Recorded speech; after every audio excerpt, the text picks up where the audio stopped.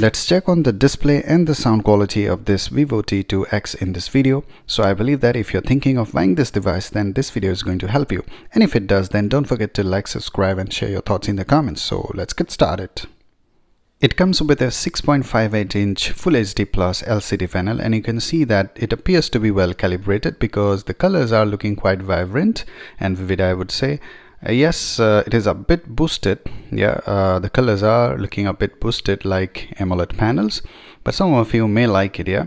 Nowadays we are used to using AMOLED panels so they have done it keeping in that mind.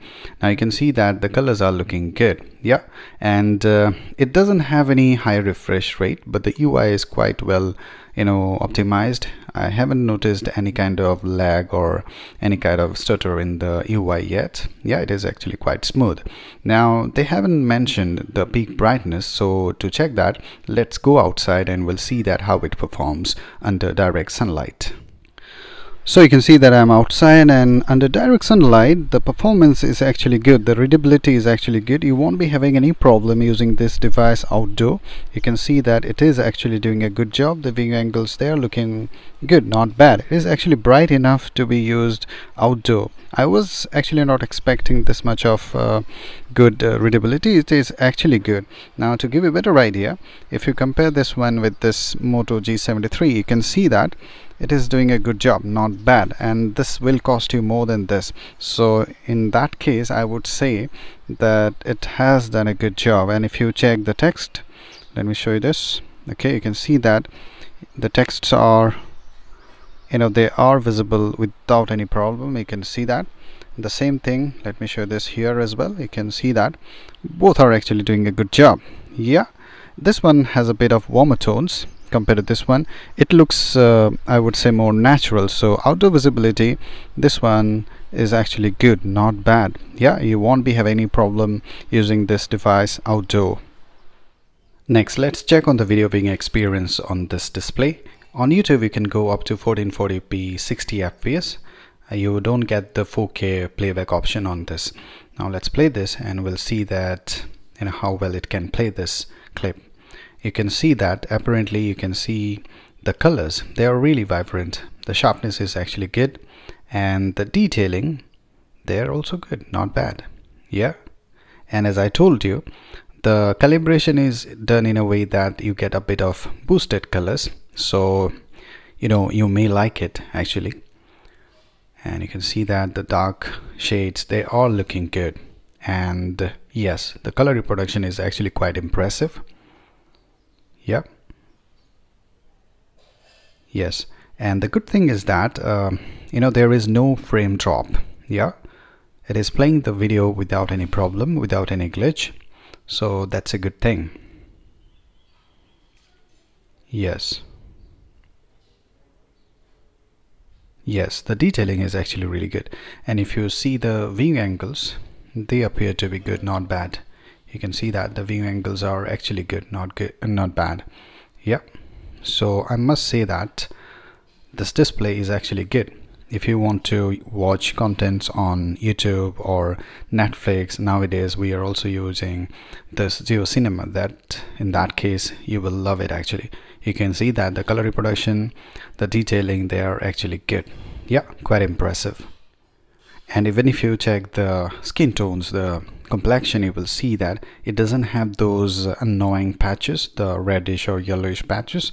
And you can see that it is actually looking really I would say balanced yeah yes it is a bit oversaturated but uh, nowadays people like this kind of color reproduction. So what is your opinion? Let me in the comments. But I found this display to be really good. Yeah considering the price it is actually good. You can see that you know the complexion the skin tones the you know the detailing is actually really good. Even the dark shades the black shades they are looking good really good. Yeah quite impressive.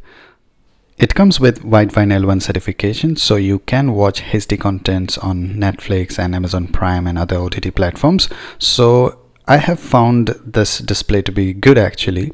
Yes you are not going to compromise and considering the price it is actually really good according to me. So what do you think about it? Let me in the comments. Yes it is not having the higher refresh rate but i believe that you won't miss it. Yeah? It is actually performing good. The ui is quite smooth. No problem. Now let's check on the sound output. It comes with a single bottom firing mono speaker. You don't get any stereo setup with this one but they do have this. Let me show you this. They call it super resolution audio super resolution. So let's turn this on and we'll play music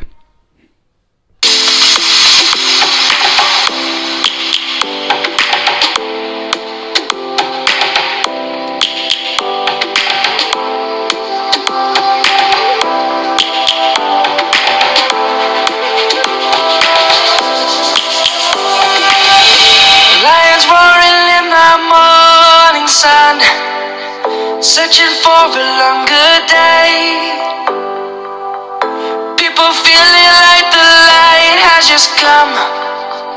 We must never stop the way Birds jumping and I hear my name Grasping into a life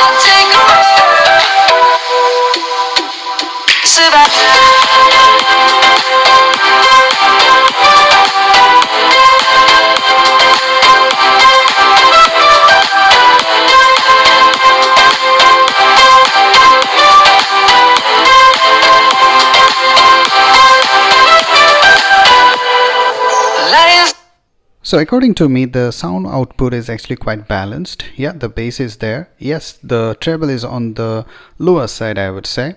But the good thing is that there is no distortion even at the highest volume. And it is actually quite loud. Yeah, you can use it outdoor as well without any problem. The sound quality is actually good. Definitely it is better than the Samsung F14 that I tested, you know, lately. Obviously, you cannot compare this one with Moto G73 that has a really, really uh, better sound output yeah as it comes with Dolby Atmos dual stereo setup. But here you just get this mono speaker single speaker.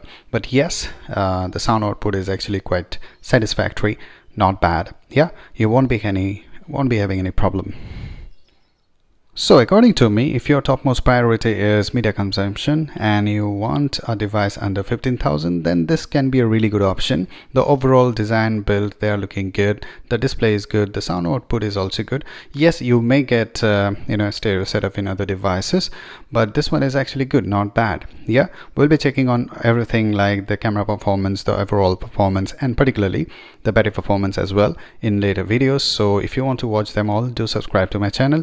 And I that this has helped you to take an informed decision. If it has, then don't forget to like, subscribe, and share your thoughts in the comments. So till the next video, guys, cheers.